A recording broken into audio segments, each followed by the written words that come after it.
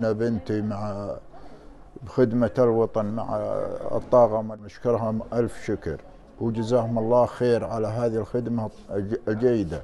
تنظيم جيد والشغل جيد وكل شيء جيد. والله يجزاهم خير. الله يجزاهم خير.